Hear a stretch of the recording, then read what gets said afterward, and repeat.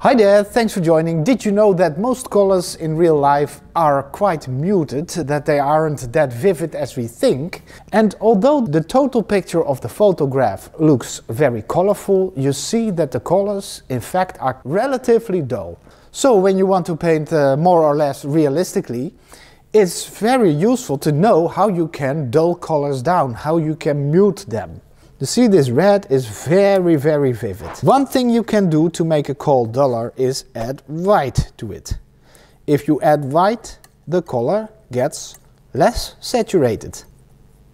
For instance, when I add yellow to this red, it also gets lighter, but it doesn't get less saturated. The saturation is still very high because these are two primary colors mixed together and whenever you mix two primaries you get vivid secondary colors. Another way to dull your color is by adding black to it. So if I add a tiny amount of black to my red this also is a less saturated red but it also has become darker so I'll get to that in an instant.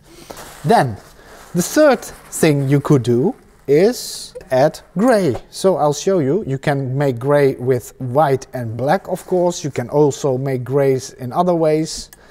But first let me show you this. I mix black and white and I try to match the tonal value of this red color. So, and with tonal value again, we mean how dark or light the color is. So if I compare this to this, this is too light.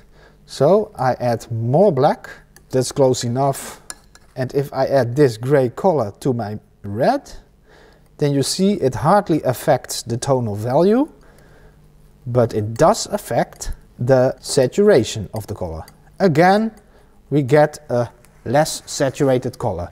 By the way, less saturated colors are beautiful. They have some mysterious feel to it. Here you see a collection of muted colors together. It's beautiful. And here you see an example of a collection of very vivid colors. See, they're all crying for attention and uh, all kinds of stuff.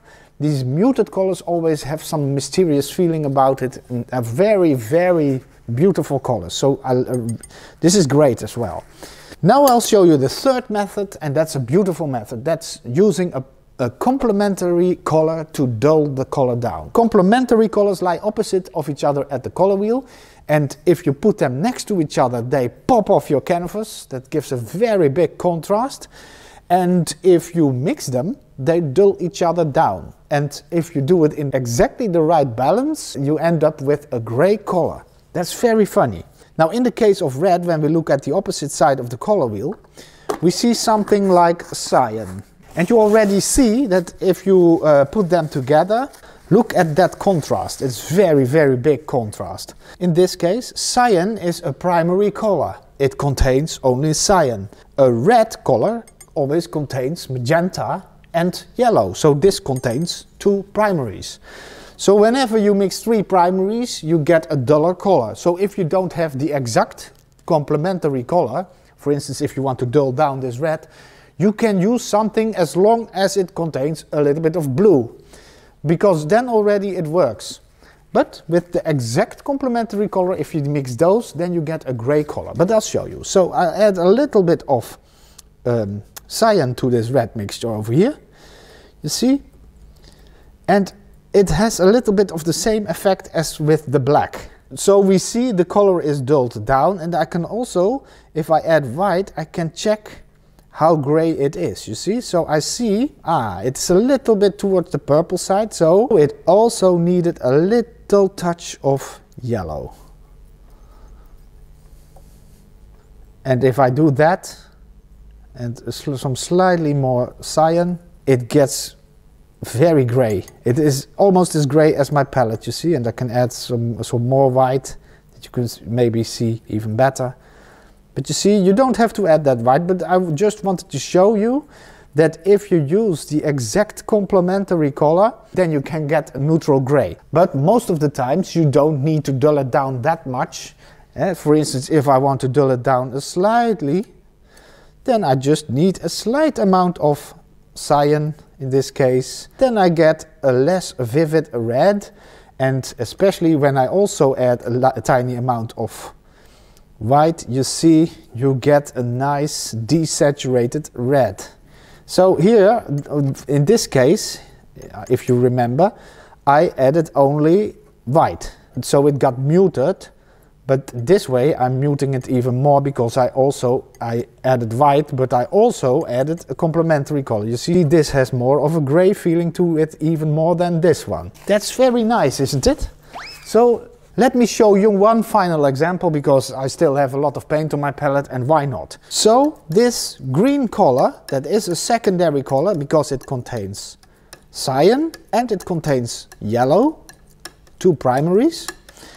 And there's one primary missing and that is magenta. So if I want to be a little bit precise, I take a little bit of magenta on my palette and I'm gonna mix that through my mixture. And again, this is a very high contrast eh, between those two colors because they're complementary. But if I mix them, I get a very gray color again. My green gets dulled down.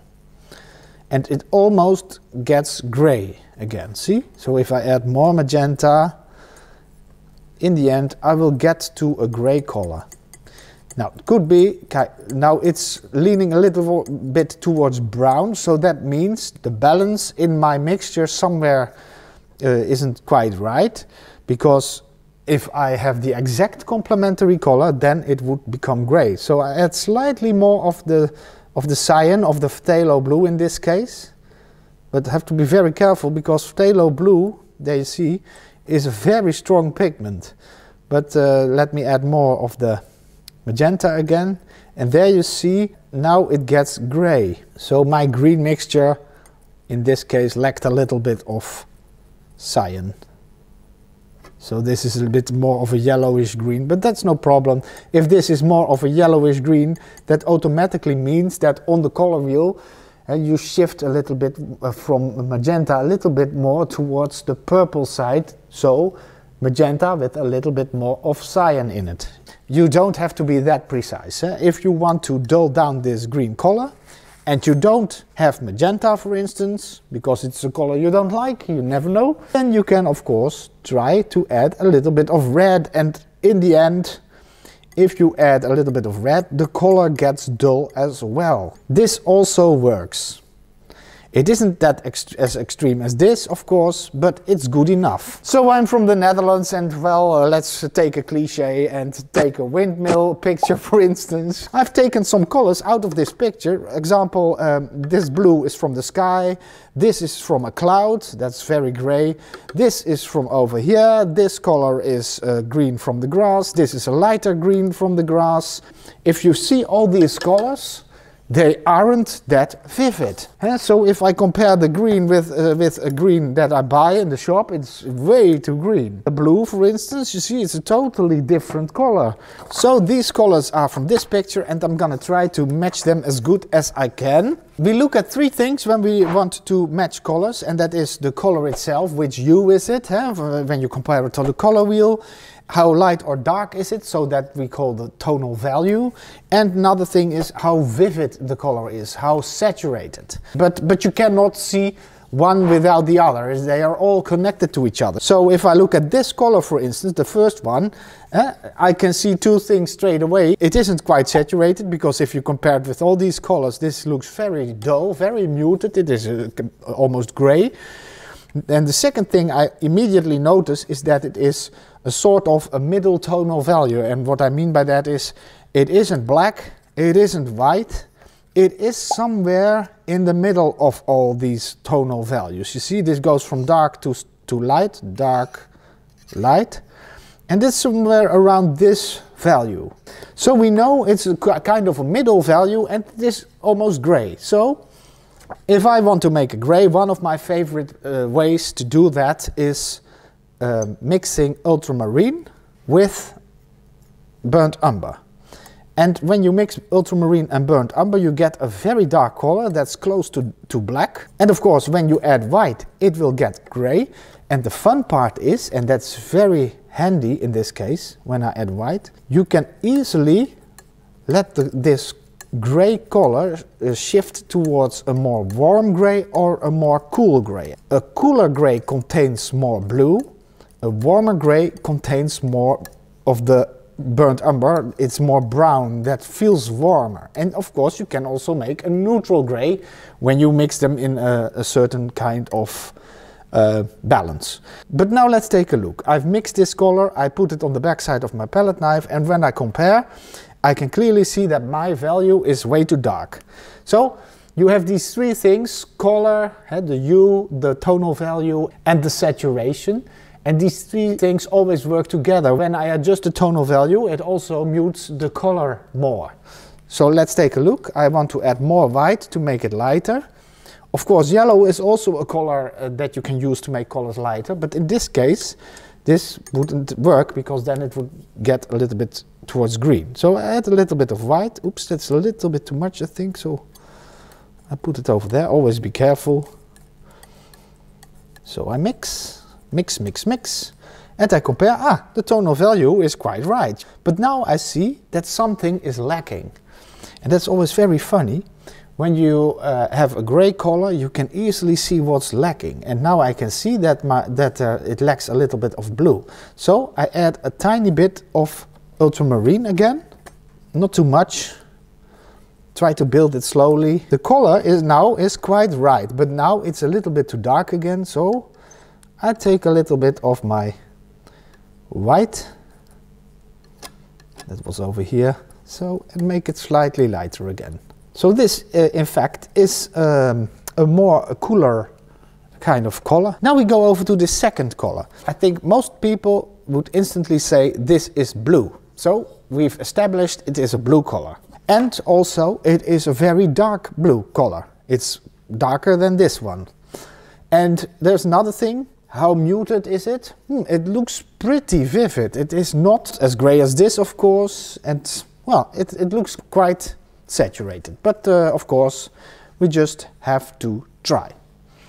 But now, what kind of blue is this? That's a very important color because we all know a blue can be neutral, like cyan. It also can lean a little bit already towards magenta, so that it has more of a purple look to it, like ultramarine. The other way, blue can also lean a little bit more towards green. And if I compare with the color wheel, I think it's fairly neutral, but we'll see.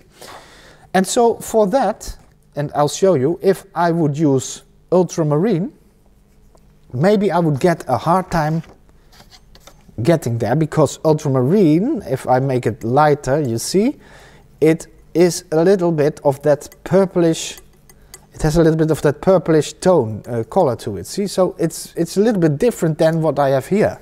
And that's why I've added phthalo blue to my palette. Because phthalo blue is a relatively neutral blue. So if I compare this, you see it's way too dark.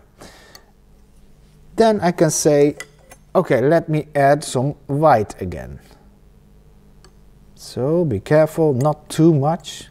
You see, now it gets lighter and now it gets easier to compare because if the tonal value is closer to the reference color, then it gets easier to judge if we're on the right track. And look at that. This isn't that bad, is it? So so I clean my palette knife again and, I, and it was a little bit too dark still so I add some more blue uh, titanium white to make it slightly lighter. But you see that blue color that I have here now is very very bright, it's very vivid. And if I compare it with this one, it is, it is, the tonal value is almost good, but you see it is a little bit too vivid. Now, one of the ways to destroy the saturation, we have seen it already, is to add white. We already did that, so it became lighter but also less saturated already than this one. Another thing you can do is add gray. another thing you can do, do is add black. Another thing you can do is add the complementary color. And the complementary color of this kind of blue is red. So if I take a little bit of this red, and a little bit of yellow not too much just be careful something like this maybe it might be that I can destroy a little bit of the vividness but I will try it first over here. You see, maybe I've added a little bit too much yellow. This, this, this orange is a little bit already too much to the yellow side, so now it becomes too green. Can you see? So that's the way I test it out. So if I just add red, what will happen then? We'll see, we'll try. It becomes less vivid instantly. It also becomes a little bit more dark, but that's no problem, we can solve that. So again, I go over here and you see it's still way too dark. Then I add slightly more white. You see, it is more, it has more of a gray feeling to it than this. And now if we go over here, you see, we're there. So I'll add it over here. Now let's head over to this one. What kind of color is that? Uh, it's a light color, we see that instantly. It's, it's not that dark eh? as you compare with the scale, with the value finder. It's somewhere around here.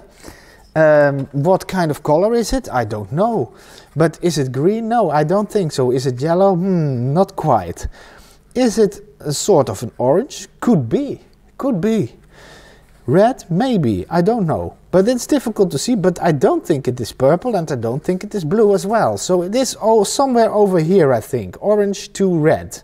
And the, the nice thing is, if you have a bit uh, of knowledge of colors, eh, we have a burnt umber here, and burnt umber is a sort of a dark orangey, orangey color. I'll show you if I add a little bit of white. Then you see what happens. It gets light, of course. And but you see, we can already tell, hmm, it has something to do with this color. I can get there very quickly with just using white and burnt umber. And of course, another way to do the same thing could be using yellow and red, pyrrole red in this case. So a matter of finding the right balance. You see, and then I add white and we get to sort of the same sort of the same color but then you also need a little bit of blue already to tone it down a little bit see then you can get to the same sort of color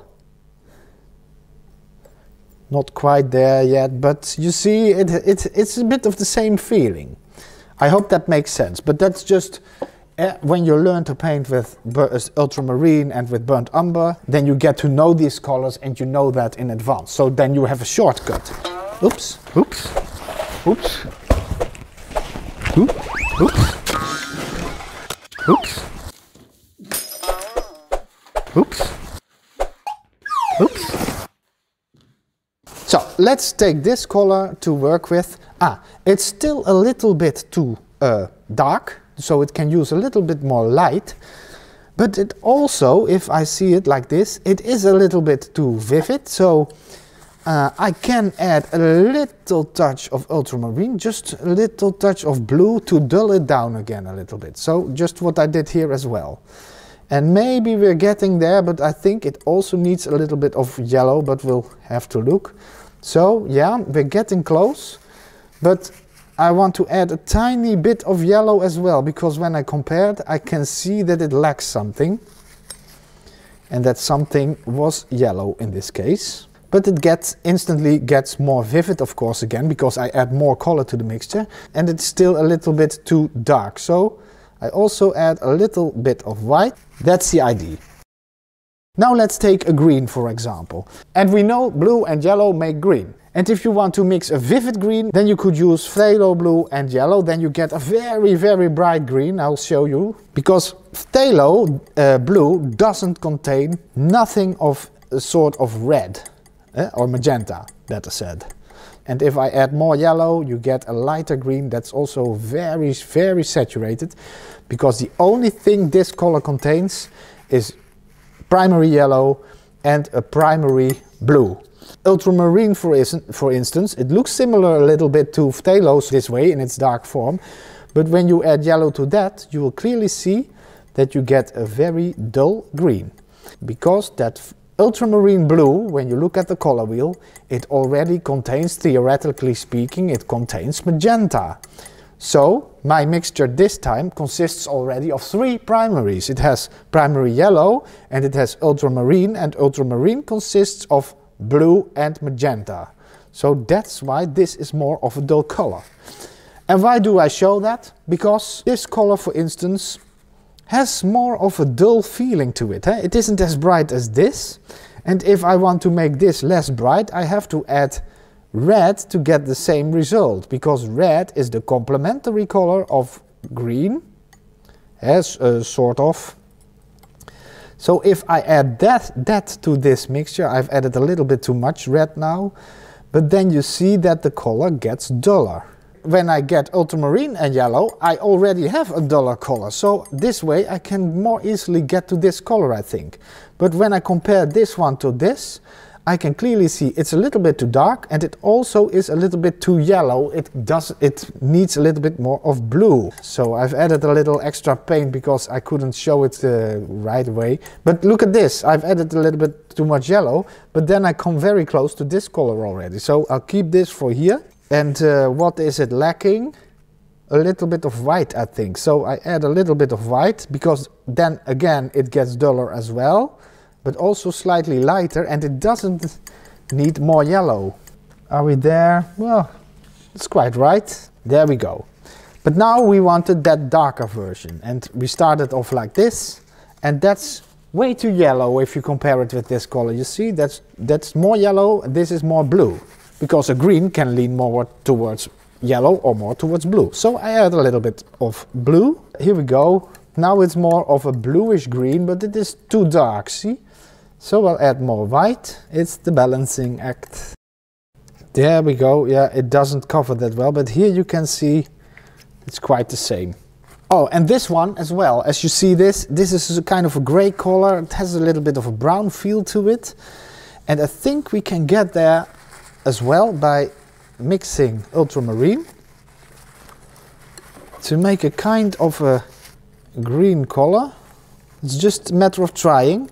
And now this green, this is a way too vivid color. It, it has nothing to do with this, but if I add red, I think we might get there. Now I add a little bit of white. It's a little bit too much, but here again you see there's the red. Yeah, we're getting close. It lacks a little bit of yellow, very tiny amount of yellow again. So in the end, all these dull colors contain three primaries. This one has some similarities with this one that we did. You see as well, by the way, acrylics dry darker than what you see on your palette. That's always uh, the case, they have a color shift. Un unless you paint with very expensive acrylics that don't have color shift. But I wanted to show this color has something to do with burnt umber as well. So I can add white to the burnt umber again. We are instantly very close, but it's a little bit too vivid, so I'll add a little bit of ultramarine as well. Maybe we're there already, I think. Yeah. See, that's quite good enough for this fellow. Okay, uh, then this one is obviously very gray, and we already did a gray at uh, the start of the video. So again, I grab some ultramarine, and I grab some burnt umber and try to make yeah a balanced mix. Now it's a little bit towards the blue side if you see? So yeah it's a little bit too, um, too, too much blue. So I add more burnt umber gets a little bit warmer my gray and I compare again and now it's a little bit too dark so I'll add a little bit of white and now it could be that it lacks still lacks another color as well and I think it lacks a little bit of red. So here I have a tiny bit of red. So you see that's very funny. If you mix a gray a little bit towards the, the right tonal value, then it gets easier to see what is lacking. So now I added a slight amount of white again as well. So you see this is good for this color. A little bit too dark still. But that's uh, how you go about it. Of course, you can be a little bit more precise than I just did, but you get the idea, I think.